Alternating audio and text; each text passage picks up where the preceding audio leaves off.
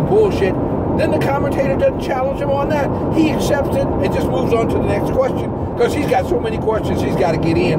So the, the listener that's listening to this and doesn't hear it being challenged says, wow, it must be true because the, the commentator didn't challenge him. Why don't you get a talk show at one of the stations in, in Dallas? Why don't you get a talk show? I'm retired, man. I'm not just Yeah, but doing a talk show, you'd be good at it. I'm You- retired. You're, you're, you're well researched. You're articulate. Why not? I don't know. I've been in, I've been in love with politics all my life. I represented. Uh, I was a delegate for Ann Richards in the in the early '90s. She was Democrat. Yeah, yeah. I was remember Ann. What in like 90, 91? This was uh, '91. She was. I was in it Houston then. She ran for governor. For governor, yeah, I First- remember that. That- first I governor. lived here 90 to 92. Yeah. But I've always loved. I love politics, but I love politics when It was honest. when honorable men. The, you. The, the term statesman and elder statesman and political politicians. It was an honorable. Well, it was all that kind of died in the 60s. Oh, it, it started to disappear big time. But you know what you said earlier? You were exactly 100% right. I was a young man in 81 when Reagan came to power. I saw immediately what he did to the air traffic control. Oh, he turned it And his- upside down. And his whole concept that poor people were poor because they wanted to be poor. Right. And They chose You don't it. have to worry about don't don't care about those poor, poor, poor people. Let them live in cardboard boxes on the street. You just take care of yourself, America. Every, everybody's for himself in America. You get it on your own in America. Yep. His whole concept Was so ass backwards. It was just it was bullshit, John Wayne bullshit. Well, but you know who inspired all of that? It was the Bushes right behind him. yeah, yeah, yeah. Because I don't know if you know this, but word has it, I'm not an expert, but insiders tell me, because I do a lot of work with government people when I'm not getting arrested on bullshit charges, that Kennedy was actually assassinated by bin Laden because the hit was ordered by George Bush, who hired bin Laden to be part of the CIA in 59.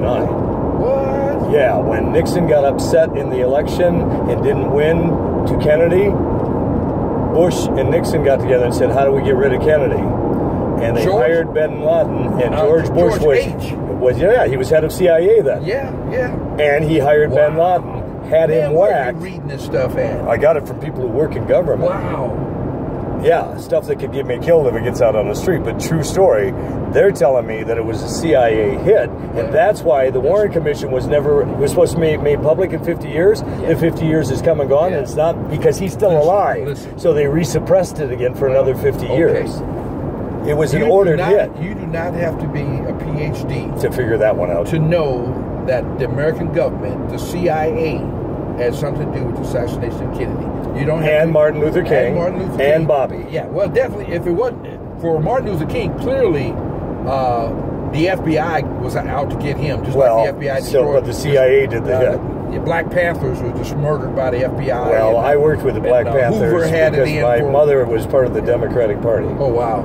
And so I'm from Michigan and Detroit. We worked with the Black Panthers, the UAW, the Teamsters. So I got to hear all the Yeah. inside stories when I was a kid. Yeah. I started out in news at age 10 because when you have presidents and senators sitting in your living room, you go, Can I quote you on that? And you have a voice like this. Wow. You call up ABC and say, According to the president today, nobody questions it. And we go, How old are you, kid?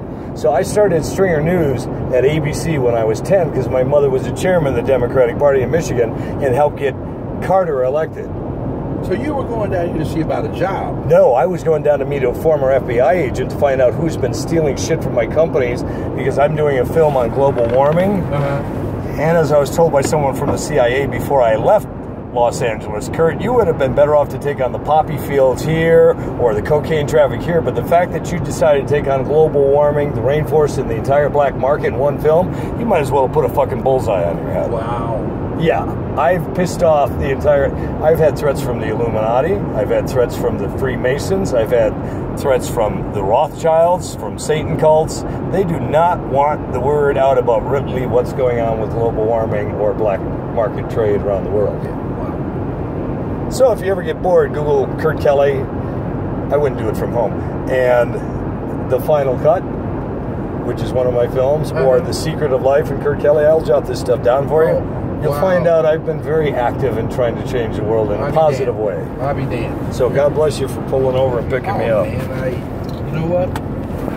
I'm a Christian, man. I'm just not one of these radicals. I I'm No. not sure I'm Christian anymore. I believe in God. Well, okay. Call it Allah, Okay. Buddha, Jesus. I don't want to get Yeah. all hung up in Yeah. whose religion it is. Yeah, grab me a piece of paper. Is it okay to write on this? Yeah, sure.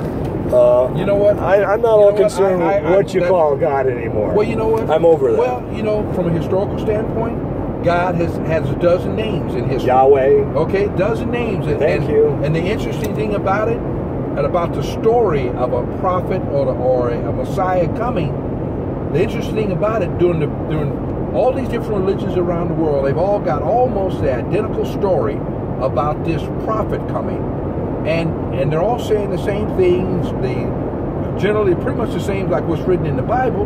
But the thing is, there was no transportation to all these different parts of the world during that period of time. How could this word have gotten to all these different corners of the earth? There was no mass communication. But you got all these different religions that got this totally similar concept of a superior being coming to earth. How is that possible? There was no mass communication. There was no trans. They didn't even know the other part of the world existed.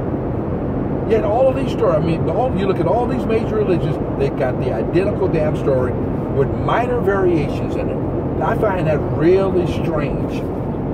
Really strange. Something is going on. My explanation is, you know what? We're probably not even a product of this planet. We're probably we're probably We're the off, we're probably the offspring of some super beings from somewhere else that put us here and and come back and check on us and and, and see, man, they pretty much have screwed that situation up down there.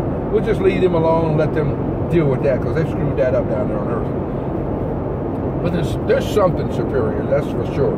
May not live on this planet, but there's something superior. This is too beautiful. None of this can.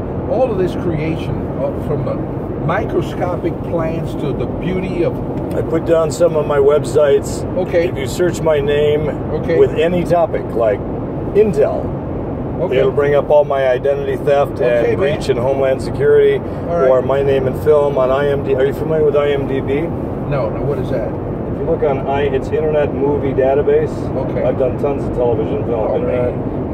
Database. And you, and you don't, you live in Emerald though. no, I live in Los Angeles. You live in Los Angeles. Yeah, You're I- trying to get back home to LA. Yeah. Damn, Kurt. I got to pick up shit at a hotel that I was arrested in while I was in a hotel. They sent police to arrest me to bring me back. So if you look on IMDb, I'm Kurt Kelly number two. You'll see I've Okay. done everything from Saturday Night Live to Wow, man. to the Today Show to major films, and you got to meet me on the highway. And they've got your car back. Oh no, they already sent that back to LA last month. They sent your car back. So I gotta rent a car somehow. I, I need to. My insurance will pay for the car, but I've been advised by people in Homeland Security that I should get someone to put up the fifty dollar copay, rent it under their name, and get me as an added driver so I can drive back to Well, how the hell did you get out here in the middle of nowhere? Well, because the sheriff, when they released me, dropped me off at the county line I'll and said another sheriff was going to pick me up, and that was an hour ago, and they never showed up. I'll be damned. So I just started walking and sticking a thumb out, Man, going, uh, "Somebody wow, will pick you know me what? up." This is pretty ironic, man.